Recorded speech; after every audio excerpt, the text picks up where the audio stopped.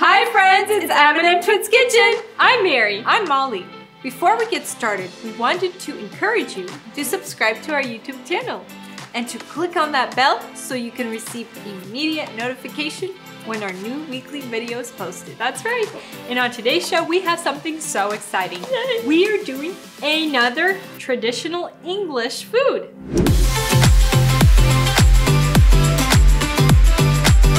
Yorkshire pudding. What is a pudding, my dear? This pudding is not a sweet pudding. It actually is like a bread, kind of like a biscuit. It's so delicious.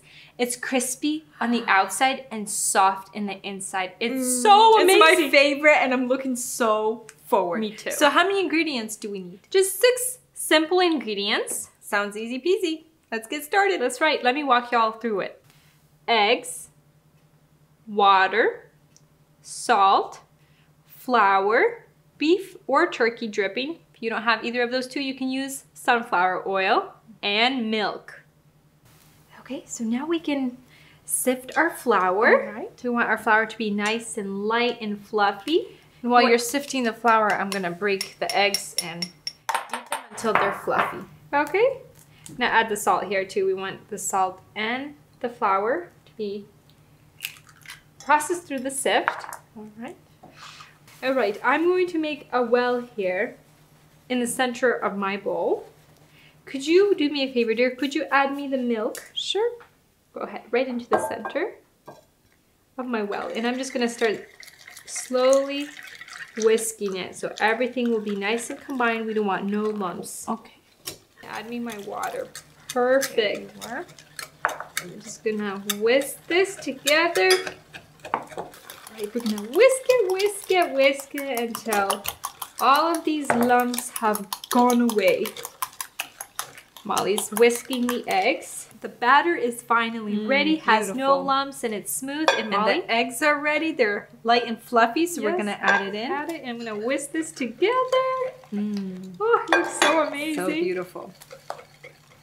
Once it's all combined, we have to put it in the jug, put it in the fridge for 30 minutes, then it will be ready for baking. Use. Mhm. It's we're almost there. That's right. It's not that long. 30 minutes go by fast. Oh, that's beautiful. So this is perfectly combined. Hey Molly, you wanna pull the jug for me? I'll hold it. It's just gonna make the process easier to pour Mm-hmm. into our baking Muffin dish tin. and muffin tin. All There we go. And can you give me the lid, please? All right, we're going to pop the lid on. And, And in in the fridge it goes for 30 minutes. So now we prepared the muffin tin, put in our turkey dripping, and some we're gonna also put in sunflower oil. So I'm going to pour in the oil. I'm gonna catch it so it won't spill all over the place. Yes, that's Perfect. perfect.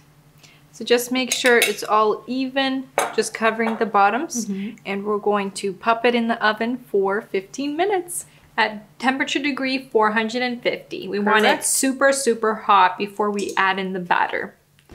So I've taken out our batter, stood in the refrigerator for 30 minutes, and I just stirred it a couple times just to make sure you incorporate everything one last time. Tell us about the oil. And the oil we took from the oven, 15 minutes it was on 450, so it's smoking hot here. Yes. And you have to be careful. We're going to be pouring the batter in here. We have to be careful because it's hot. Yep, so we're gonna slowly add in. Mm, the batter. Oh. Oh, that looks so amazing. And then we're gonna add, look, you hear it? It's sizzling. I, I hear it. it's like cooking It's over already here. cooking over here. Oh my. So we're done pouring in our batter. You want to grab the gloves. We're going to Yes. actually pop this in the oven at the temperature of 450 for 10 minutes. And, And then, then- change it to 350 for another 15, 15 minutes. So Oh. keep an eye out on it, okay? So we're going to walk over here. So we'll be back, friends, when they are ready to. And also Admire. another tip, Mm, oh. do not open the oven Oh, while they're yeah. cooking. That's a very important tip. Yorkshire pudding is like souffle and it will deflate, so please do not open it. Very important tip. Do not open it. And another one, after they are finished baking, make sure you serve it immediately because like Molly said, it is like a souffle and it will deflate.